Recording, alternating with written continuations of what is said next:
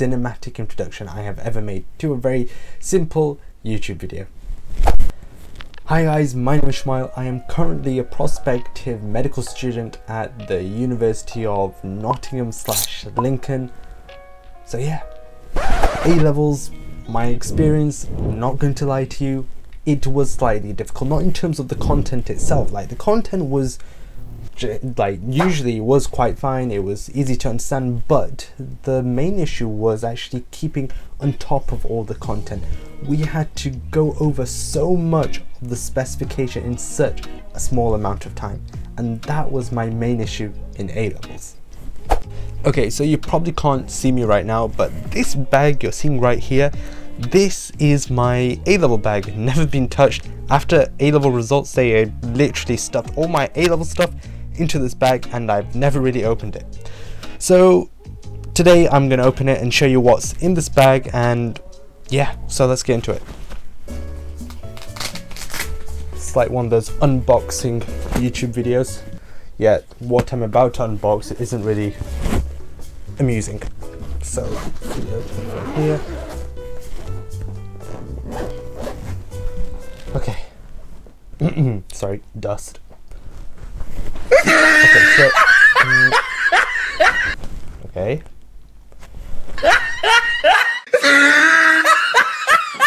Okay.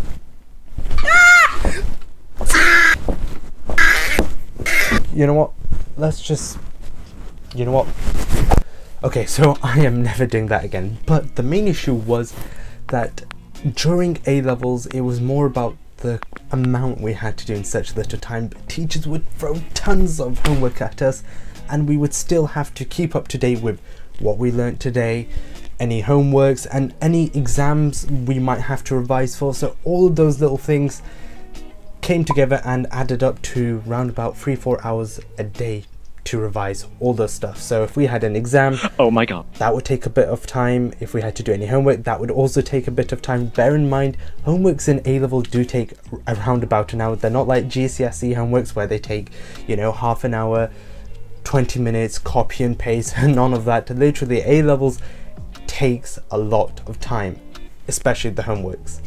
And then revising what you learned today, that is probably the most crucial thing that you can and most beneficial thing that you can do throughout A levels is actually go home or even during your free periods that you might have, revise what you learned and just go over it. It only takes around about half an hour to briefly go over, but as long as you're reinforcing what you've learned and at a consistent pace, you should honestly smash A levels.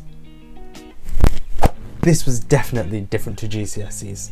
So for the first year of A levels, so year 12, I was literally just experimenting, finding out about myself, who am I? Yet, obviously I know who I am, but like, you know, trying to find out my certain revision techniques, what does suit me, what doesn't suit me, do I like flashcards, do I like writing in the Cornell note method, method way, huh? format.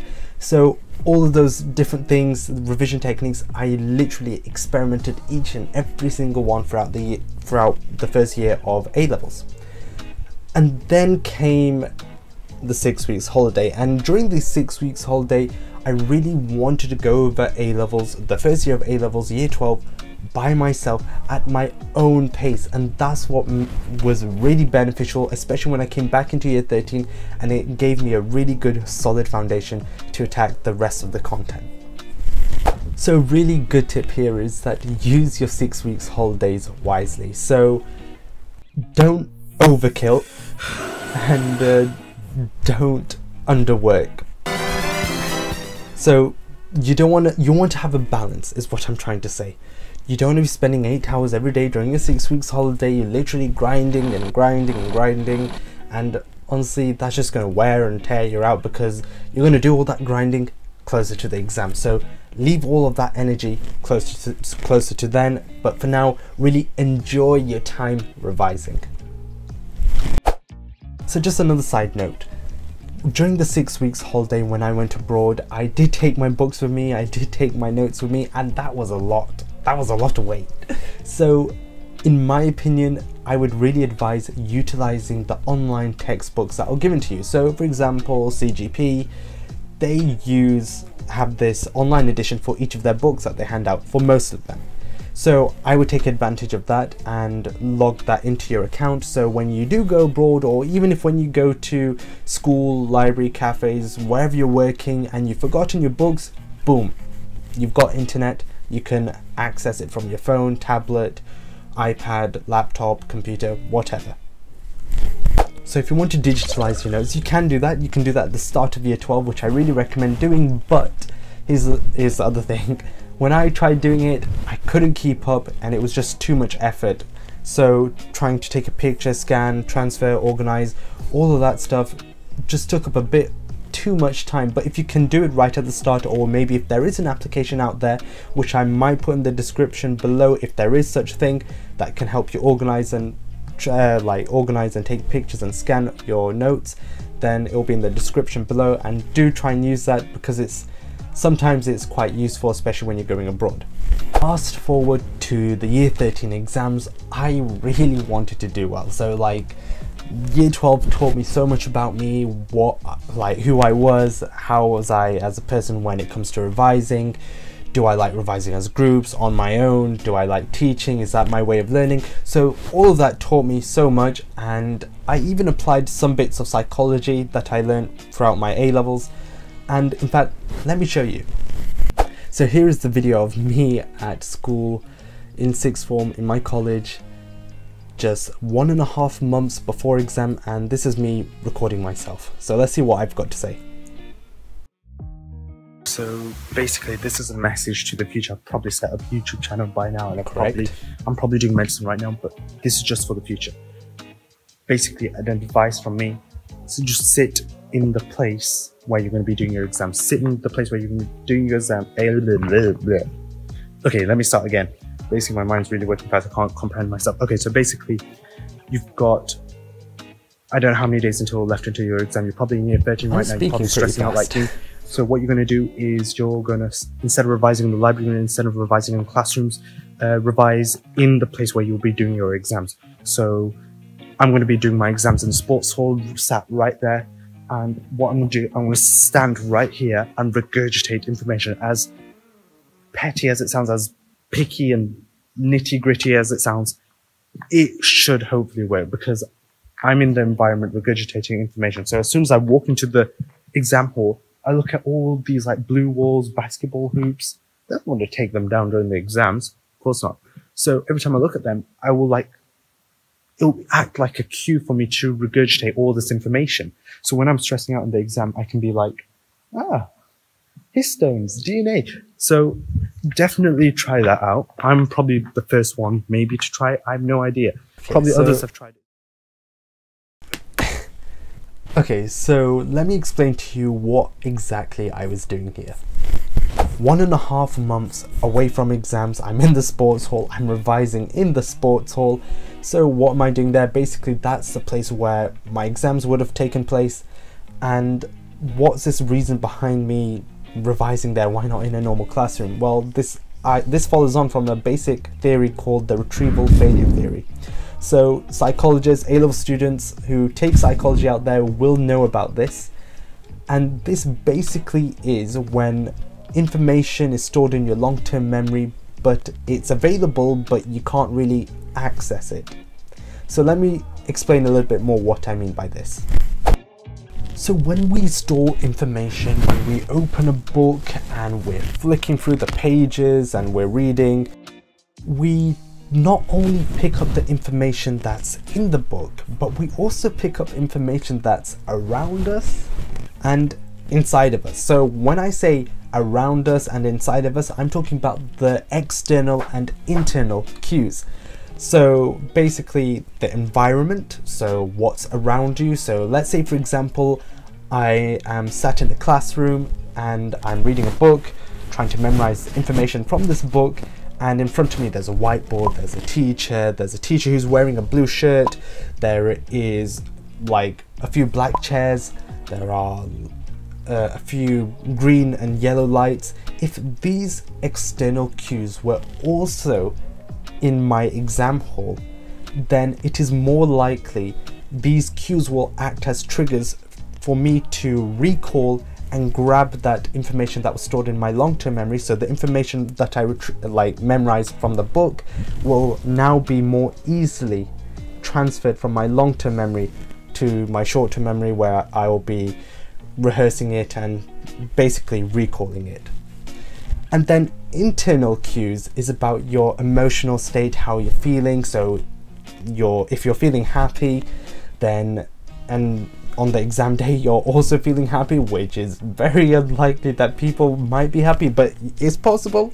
I'm not saying it's not possible, but in terms of like yeah, usually people are nervous on exam day, might not be happy, I don't know, but depends. Okay, I'm waffling now, but main thing is your emotional state and for example if you were drunk while revising and if you were drunk during the exam then you're more likely to retrieve the cues the information from your long-term memory back into your short-term memory because of the cues in your internal environment.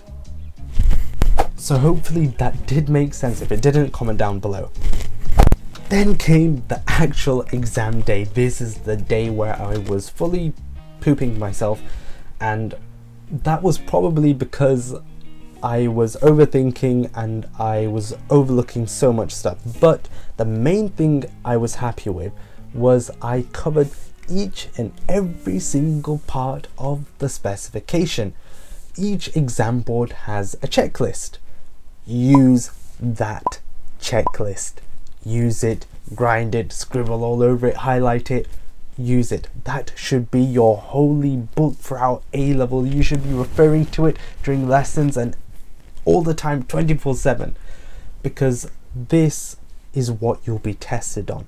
They've literally given you everything that you'll be tested on. It won't be like, you know, a broad, anything vague. And if there is anything vague in the specification, which I did come across, email AQA. I threw lots, sent lots of emails to AQA and they replied with suitable answers. They even told me some top secret information. I'm joking, not top secret, but you get the idea. So I also recorded another video.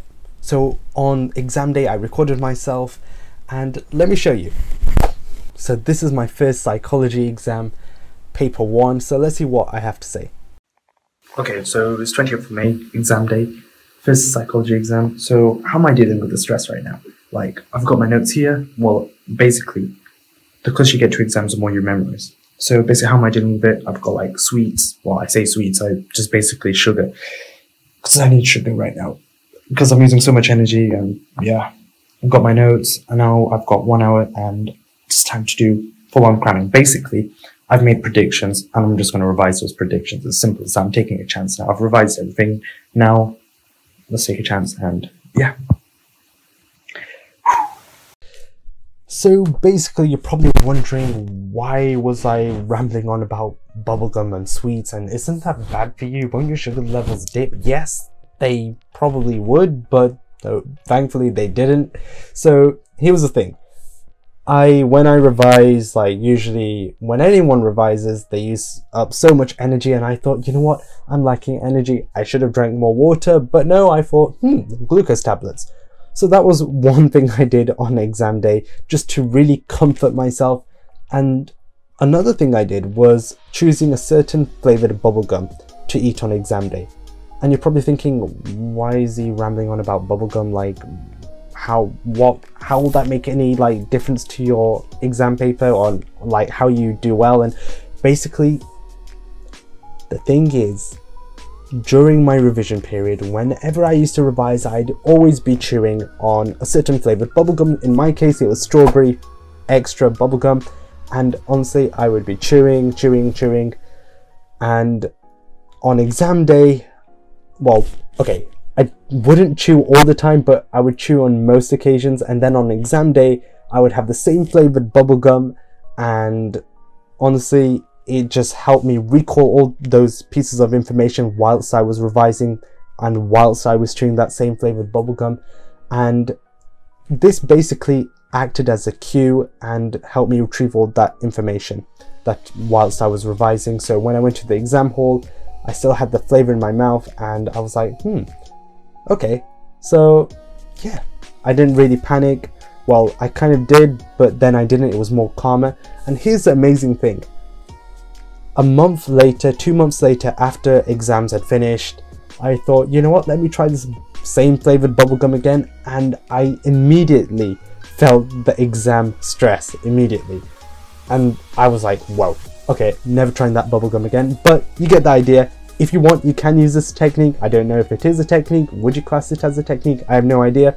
But it worked for me, so it might possibly work for you. I don't know. So this was just a very short overview of my A-levels and my A-level experience. In a future video, I will go over possibly how to smash your A-levels or any other revision techniques. So if you've got any other ideas or recommendations, please comment them down below and I'll reply. And thank you for watching.